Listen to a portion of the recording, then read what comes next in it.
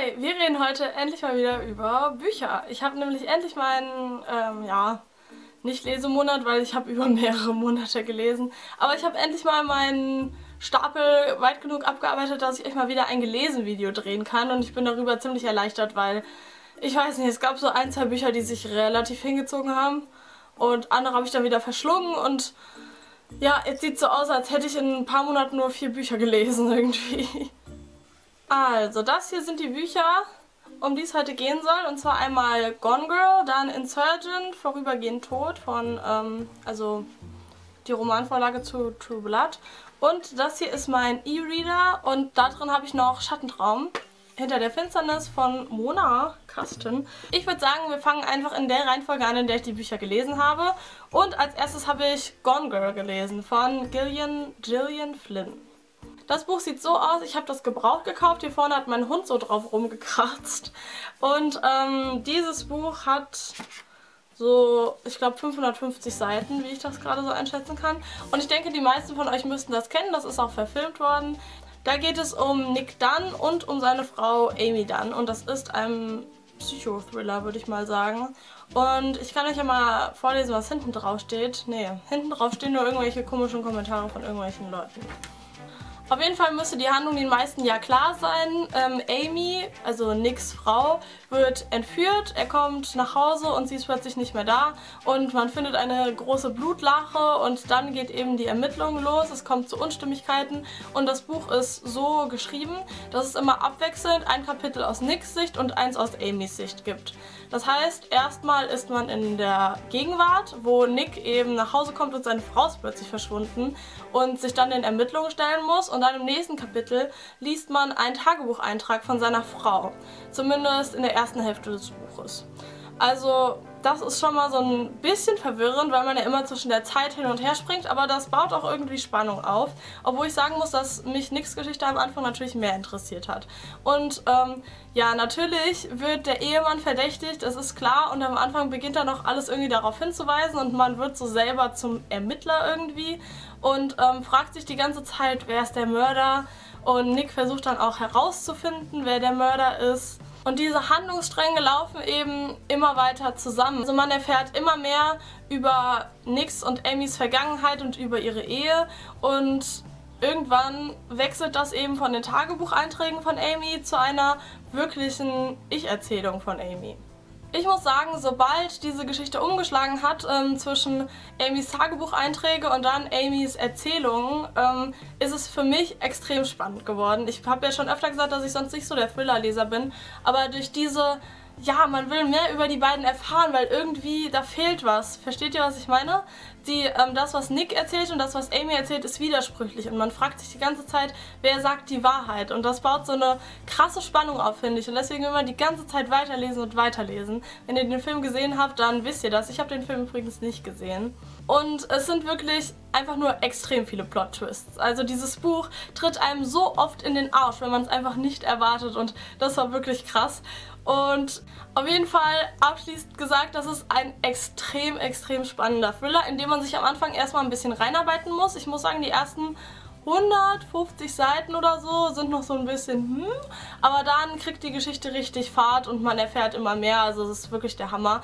Und ähm, die Wendungen sind auch wirklich unerwartet, also für Leute, die Thriller mögen, kann ich dieses Buch absolut uneingeschränkt empfehlen. Das hat sogar mich überzeugt und ich, das ist normalerweise nicht mein Genre, aber ich muss sagen, ich bin diesem Buch wirklich verfallen und ähm, ja, ich finde es super. Gerade so in seinem Genre ist es, glaube ich, richtig gut und ich überlege von der Autorin ähm, noch mehr zu lesen, wenn das auch dieses hohe Niveau aufrechterhält. Das zweite Buch, was ich gelesen habe, war Incertain von Veronica Roth. Zumindest denke ich mal, dass sie so ausgesprochen wird. Das war auch letztes Mal schon Thema. Das ist der zweite Band der Divergent-Reihe und die Verfilmung kommt jetzt auch bald ins Kino. Ich glaube im nächsten Monat. Jetzt irgendwie Ende März oder so. Und natürlich, ich, es ist ein zweiter Band, deswegen möchte ich euch über die Geschichte gar nicht zu viel verraten. Es ist klar, dass die Geschichte aus dem ersten Band natürlich fortgesetzt wird und wer den ersten nicht gelesen hat, der weiß natürlich nicht, wie es ausgeht. Deswegen werde ich jetzt nicht sonderlich viel über die Geschichte von Triss, die hier natürlich weitergeht, erzählen, sondern euch eher so ein bisschen sagen, wie ich dieses Buch insgesamt fand. Jeder, der meinen vorherigen Lesemonat gesehen hat, oder ich glaube meinen ersten, ähm, ich kann euch die beiden vorherigen auch nochmal in der Infobox verlinken, der weiß, dass ich vom ersten Buch echt überzeugt war. Also das ging richtig voran, ich habe dieses Buch verschlungen, es war super cool und ähm, ja, das hier, ihr wisst es vielleicht, bei solchen Dystopien ist der zweite Band meistens nur so ein Bindeglied. Also im ersten wird meistens das Szenario irgendwie eingeleitet und man wird so in diese neue dystopische Welt eingeführt und ähm, die Problematik wird halt vorgestellt und am Ende vom ersten ist dann meist, passiert meistens irgendwas Schockierendes und der zweite führt die Geschichte so weiter, dass man dann später im dritten Teil auf ein richtig großes Szenario hinarbeiten kann. Das bedeutet, in zweiten Teilen passiert meistens nicht so unglaublich viel Spannendes, aber ähm, ich muss wirklich sagen, dass mir dieser Teil in seiner Funktion als zweiter Teil wirklich gut gefallen hat. Also er war, wie zu erwarten war, ein bisschen schwächer als der erste, weil ja, im ersten ist halt alles noch so neu und spannend und aber ich muss schon sagen, der, er hat mir schon gut gefallen, weil er es irgendwie geschafft hat, die Spannung aufrechtzuerhalten. Also es wird sozusagen ein Rätsel aufgeworfen und ich wusste wirklich nicht, wie sie das lösen möchte. Und der Band hat es wirklich geschafft, bis zum Ende diese Spannung aufrechtzuerhalten. Also ich muss wirklich sagen, dass ich hiervon nicht enttäuscht bin. Wenn ihr den ersten Teil gelesen habt, dann solltet ihr auf jeden Fall weiterlesen. Ich finde, es gibt keinen Grund, diesen Teil nicht auch noch zu lesen. Er war wirklich gut. Und was ich auch noch sehr gut an diesen Büchern insgesamt finde, ist, dass es da nicht so eine komische, schnulzige Liebesgeschichte gibt. Das habe ich ja schon in meinem vorherigen gelesen Video gesagt.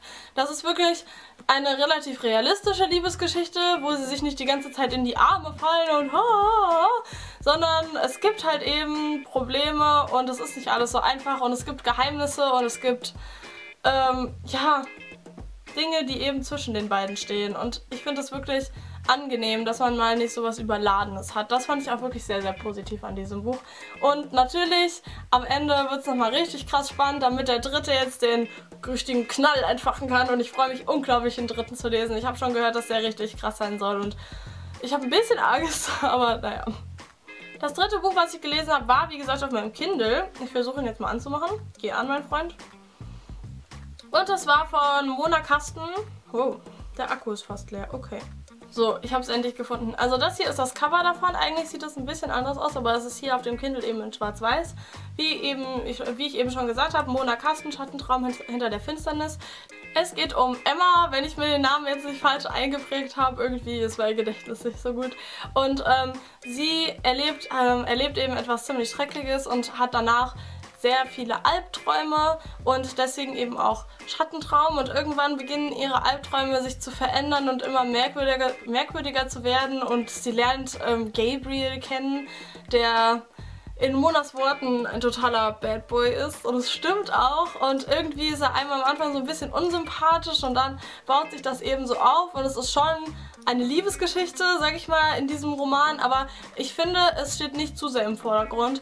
Ich finde nämlich, dass mehr so die, ja, Emmas Geschichte irgendwie aufgearbeitet wird in diesem Buch. Und die finde ich wirklich total herzergreifend erzählt. Es ist wie gesagt so, ja, so ein bisschen Teenie-Genre, sag ich mal. Also sie wechselt eben in England die Schule, kommt dann da auf eine neue Schule, lernt neue Freunde kennen, erfährt neue Dinge und ähm, ja, Gabriel ist nicht auf ihrer Schule, Gabriel studiert, ist auf dem College oder so. Es ist ein bisschen fantastisch angehaucht und ähm, ja, Gabriel hat eben ein, ich sag mal, ein dunkles Geheimnis, das ich jetzt natürlich nicht lüften möchte, denn dazu muss man natürlich das Buch lesen. Und ich muss sagen, dass mir das Buch wirklich gut gefallen hat. Normalerweise lese ich lieber so ein bisschen schwerere Sachen und nicht so, ähm, ich weiß nicht, nennt man das so Light Read. Also das war so ein Buch, das einen richtig angenehmen Schreibstil hatte, das man schnell runterlesen konnte. Ich glaube, ich habe es in zwei Tagen durchgelesen und das äh, hat einen auch so richtig gut irgendwie so bei der Stange gehalten, sag ich mal. Also es wurde überhaupt nicht langweilig und ähm, die Charaktere waren super sympathisch. Man konnte total mit Emma mitfühlen und auch Gabriel hat immer mehr so Tiefe bekommen und auch Emmas Freundinnen waren irgendwie total süß. Deswegen fand ich das Buch wirklich positiv. Ich wollte es eben unbedingt lesen, weil Mona das geschrieben hat vom Kanal Peach Galore. Den Kanal verlinke ich euch unten in der Infobox. Da könnt ihr auch mal gucken. Sie erzählt so ein bisschen gerade darüber, wie sie den zweiten Teil schreibt. Und insgesamt fand ich es wirklich gut, dass die Spannung bis zum Ende aufrechterhalten wurde. Es kommt wirklich nochmal so eine richtige Wendung, die ich nicht erwartet hatte, was mich wirklich total überrascht hat. Und die Liebesgeschichte ist zwar an manchen Stellen schon romantisch, aber ich finde, ich bin jetzt nicht so der krasse Romantiker und ich fand es nicht übertrieben oder so. Ich fand es einfach nur schön zu lesen und hat mich wirklich überzeugt. Die Charaktere sind wirklich sympathisch und alles in allem fand ich, das war einfach ein richtig toller Debütroman ja, was soll ich dazu sagen? Es hat mich total mitgerissen. Ich freue mich wirklich sehr, dass irgendwann hoffentlich im Laufe des nächsten Jahres oder übernächsten Jahres, wuh, mir ist gerade fast das Buch runtergefallen, ähm, dass da der zweite Teil rauskommt. Ich bin richtig gespannt. Ich kann euch das Buch empfehlen. So, und jetzt habe ich mich, glaube ich, tausendmal wiederholt, aber naja. Das letzte Buch, was ich diesen Monat gelesen habe, ist von Shalane Harris, Vorübergehend tot.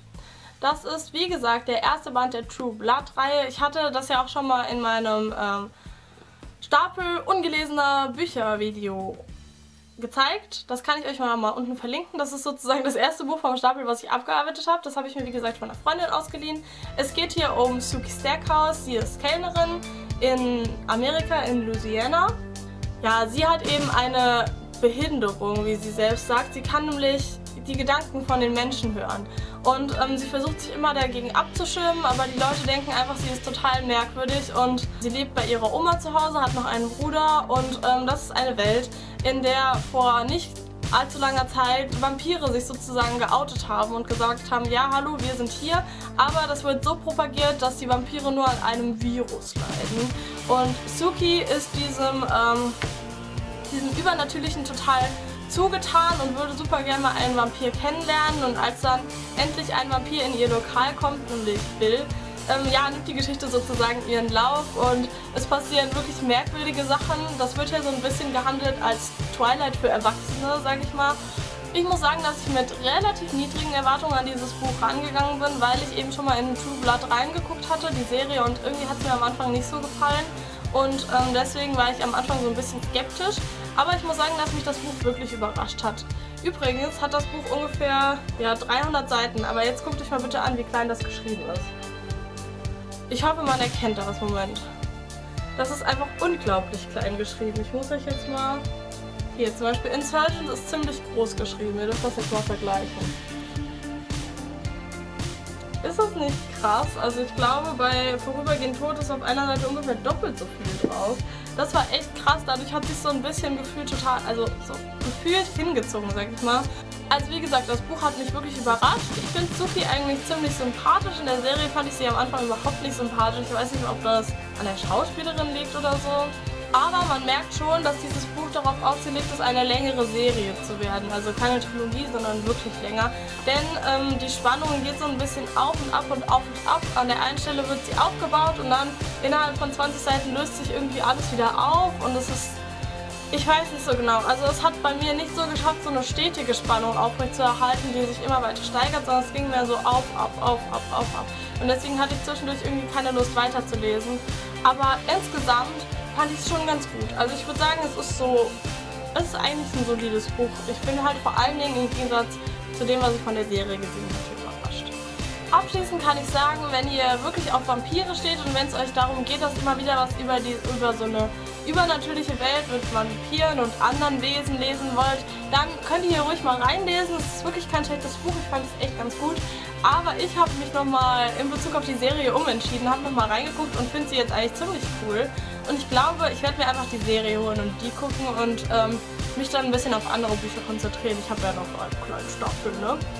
Dann war's das. Ich überlege mir gerade, ob ich mal so ein Video machen soll, nicht mit Büchern, sondern mit Hörbüchern, weil ich höre ja auch relativ viele Hörbücher eigentlich. Und ihr könnt mir ja mal unten in die Kommentare schreiben, wie ihr das findet. Also ob mal so ein gehört oder so. Gehört hört sich irgendwie blöd an. Ich weiß auch nicht. Ja, so wie so eine Art Lesemonat oder halt gelesen Video nur mit Hörbüchern. Schreibt mir, wie ihr das findet und ihr könnt mir auch gerne in den Kommentaren eure Buchempfehlungen dalassen und ob ihr diese Bücher, die ich jetzt vorgestellt habe, auch kennt und gut findet und generell, wie ihr das so findet, weil meine Meinung ist natürlich nicht das Nonplusultra und wir können uns ja ein bisschen austauschen über Bücher. Ich liebe es immer, über Bücher zu schreiben. Dann würde ich mal sagen, dieses Video war jetzt lang genug und ich sag mal, auf Wiedersehen, wir sehen uns nächste Woche.